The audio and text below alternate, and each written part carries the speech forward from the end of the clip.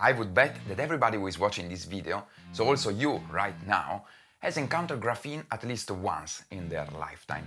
And the reason is, of course, uh, not because uh, graphene was contained in the coronavirus vaccines, uh, as some conspiracy theorists like to say, because indeed it was not contained, but because uh, you have held graphene, actually many many layers of graphene, in your hand, in the simple form of a pencil. Graphite, indeed, which is the material of which pencils are made, is just a crystal, just a stack of many many billions and billions of layers of graphene, one on top of the other, and they are held together by exactly the same kind of force that uh, holds the gecko's feet on the wall. And these are called the van der Waals forces. One of the ways in which uh, indeed graphene is actually produced in a lab is just by taking uh, graphite and uh, scotch tape. And then, uh, using scotch tape, just uh, repeatedly peeling off layer after layer of graphite until we reach a single layer, which is graphene. The main difference is that in a lab, of course, uh, the scotch tape is blue, and actually the graphite that is uh, used uh, is not of the same kind of the pencil, is much uh, cleaner and poorer and more ordered with respect to that. But so why bother about graphene in the first place? Well, the reason is that since 2004, when graphene was discovered by physicists Konstantin Novoselov and Andre Geim, who would later win the Nobel Prize in 2010, graphene has shown by experiments extremely extraordinary properties, an extremely high thermal conductivity and also a high electron mobility, so the fact that it can carry current, electrical current for circuits in a very efficient way, it is also a very transparent material and one of the strongest material which has ever been measured. And so during the course of these uh, almost 20 years since its discovery, graphene has been thought as the marvelous material of the future with the capability of uh, providing us the material to build uh, extremely flexible and robust and transparent devices.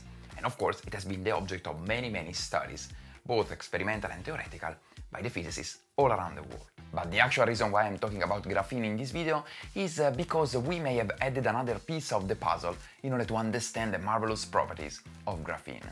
And with we, I'm not talking about a generic we of the whole uh, human race, but a we that includes me, myself, in first person.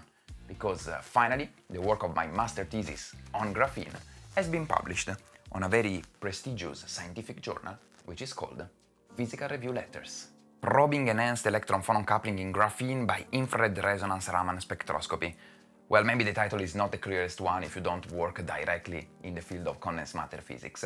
But the purpose of this video is actually to try to guide you in understanding, at least uh, overall, what we have done in this work and what we claim and uh, why could this be useful in the future. Well, to understand such a discovery we need at least to go through three main questions and to answer them. And the first one is, uh, of course, uh, what is graphene? Then the second one is, uh, is there a light that we cannot see with our bare eyes? And then the third one is, uh, how do the constituent of matters uh, interact with this kind of light? I will try to give an answer to these questions uh, in both a non-technical and a technical way, so that both experts or people just passing by and just curious about the topic can at least grasp the flavor of what we have done. And then of course I will wait for you down below in the comment section if you have further questions. Fasten your seatbelt and let's start with the first topic. What is graphene?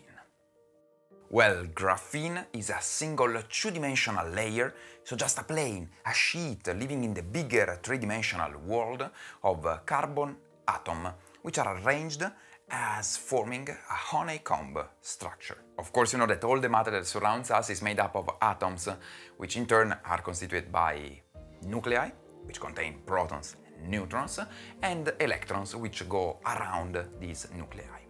Well, in solid-state systems, so in uh, matter which is solid, these atoms are actually arranged in space periodically to form a so-called crystal, in which basically there is just a repetition of the disposition of the atoms in a periodic fashion. For those uh, of you who remember their studies in high school, they may remember that actually in the atoms, in the single atoms, the electrons live in so-called orbitals, Well, these orbitals, which are just like clouds in which the electron can be found with a certain probability, become uh, hybridized and they are shared amongst all the atoms in the crystal, so that uh, actually in the end we cannot attribute uh, anymore an electron to an atom.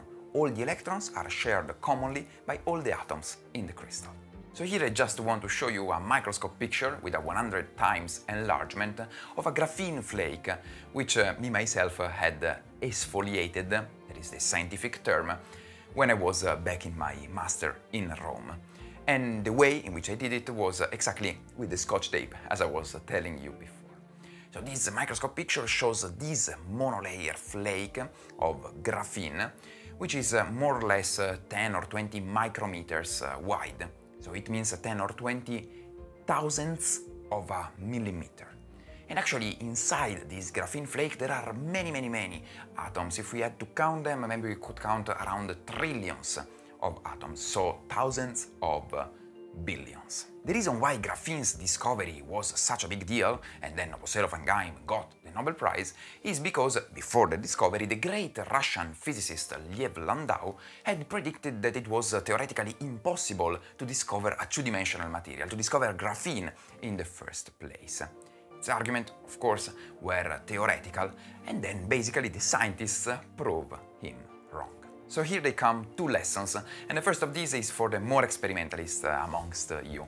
And it is uh, never give up on your ideas. If something is predicted by theory not to exist, well, that's not enough of a reason to give up in trying to discover something new. Physics is an experimental science, and nature is the last judge. And the second lesson, of course, is something which is shared by all the scientists and should be shared by all people, actually and uh, it can be synthesized in the famous quote by Carl Sagan. That is, extraordinary claims require extraordinary evidence. Exactly, since there was a theoretical argument against the existence of graphene, Novoselov and Geim had to bring proofs, had to bring facts in order to demonstrate that actually what they had discovered was indeed graphene.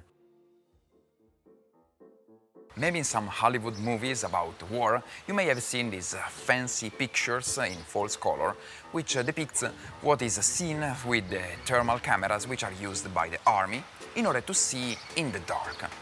Well, the way in which these thermal cameras work is actually by detecting light which we cannot see with our bare eyes. The light, indeed, is a wave. Actually, is also a particle, or if you want, is a quantum field. But uh, let's talk about waves uh, first of all. And so, as all the waves, uh, basically possess uh, a frequency, which is just uh, the number of times that per second this uh, wave oscillates. When we perceive some color with our eyes, actually we are perceiving the frequency of light. Because to frequency, it corresponds a color. And with our eyes, we can see colors that range from red, so from around 400 terahertz, to violet, around 700 terahertz, where terahertz just indicates trillions of times of oscillation in a second. Light which is oscillating uh, faster, and so with a higher frequency than violet, is called ultraviolet, as the name suggests. And it is, for example, the light, part of the light which is emitted by the sun. And actually, since uh, more frequency also means more energy of the light, it is the reason why the UV light of the sun uh, burns us uh, and the reason why we should always wear sunscreen when we are exposed to the sun. On the other hand, instead, light which uh, oscillates with a frequency lower than the red is called the infrared. So it is still light that we cannot see, but much less energetic than the red color. It is this kind of light which is detected by the thermal cameras. And the reason is that basically every body, so also the human body or the matter, actually emits light with a frequency, with a color, which depends on its temperature. So for example, our body, which is, if we don't have fever, at uh, around 36.5 degrees Celsius, emits light of a color which is in the infrared. The sun which has a temperature of around 5000 degrees Celsius, is the surface temperature, emits light which we can see with our eyes. And also a flame, for example on the stove, which is at around 1000 degrees Celsius, emits light which we can see. So the moral of the story is basically that we wanted to use this infrared light in our experiment, since uh, this light has a very low energy. And with uh, this low energy light, we can actually interact with the low energy electrons in graphene. And among the fancy properties of graphene, there is the fact that the low energy electrons behave as if they were massless particles. And so what we do, what we have done indeed, is the so-called Raman spectroscopy, which just means that basically we are shooting light, in particular infrared light, to graphene, and then we observe what is the color of the light which is coming out with an instrument which is called the interferometer. And by studying what is the color, basically we can deduce what is the energy that has been left by the light in the graphene. And so study what is the interaction of the electrons with the light.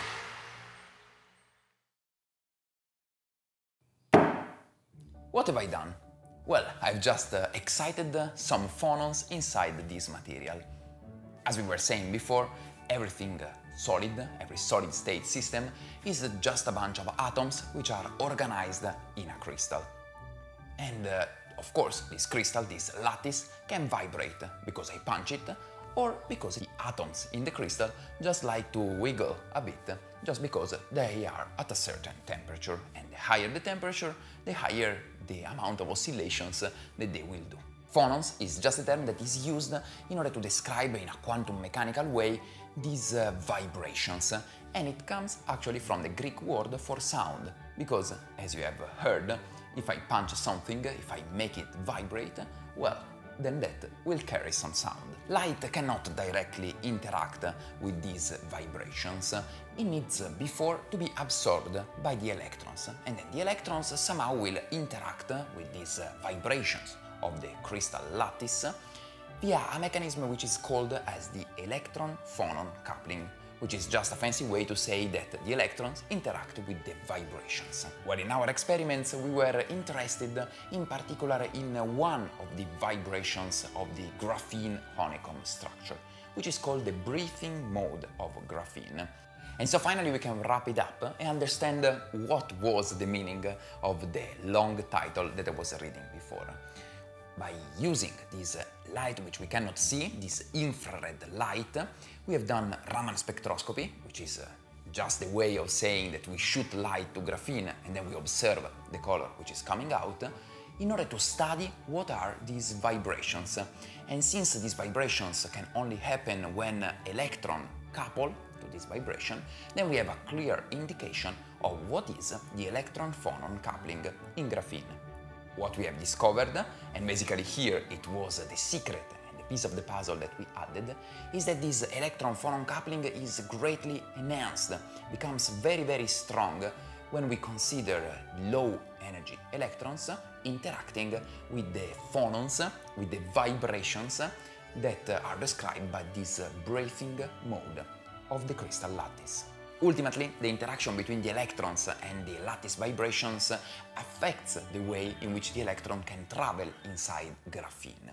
And so, for example, if you want to make devices in which uh, current can flow, since the current is carried by the electrons, which are the charge carriers, well, we have to consider how they interact with the lattice vibration.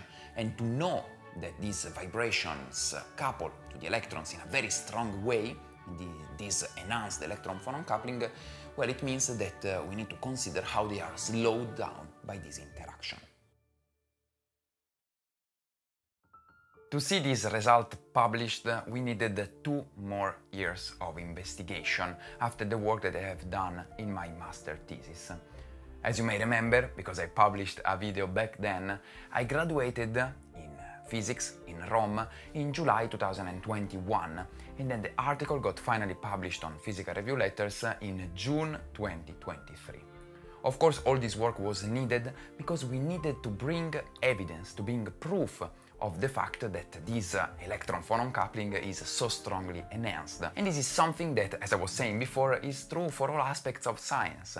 You need to convince your peers, you need to convince other scientists and the whole community in the world that what you are doing is indeed correct. Part of my thesis indeed was not only performing measurements, but also doing theoretical calculations and simulations in order to understand what was going on, to compare with theory and to claim that uh, what we were seeing was indeed something true. Here it comes the last thing that I wanted to say in this video and uh, I hope uh, with this uh, kind of explanation I cleared a bit the fog around the term of graphene because many many conspiracy theorists claim that this graphene can harm us or that we can find it in some extremely weird places but actually as we have discussed, is nothing particularly harmful. Well, my hope is that the next time that you will hear some bullshit from these conspiracy theorists, you will remember my word and uh, go to them and say that they are wrong. So I hope you enjoyed this video, I hope I made myself clear, and of course, as I was saying, I wait for you in the comments for all your questions. And then there is the moment of the acknowledgements, because of course this work could have never been possible without the people that led me through this journey. And then of course I want to thank uh, my former supervisor, Professor Leonetta Baldassarre and Professor Francesco Mauri, and then uh, Dr. Tommaso Venanzi and Dr. Francesco Macheda, who had uh, led me and showed me and taught me a lot of things about physics which I didn't knew before.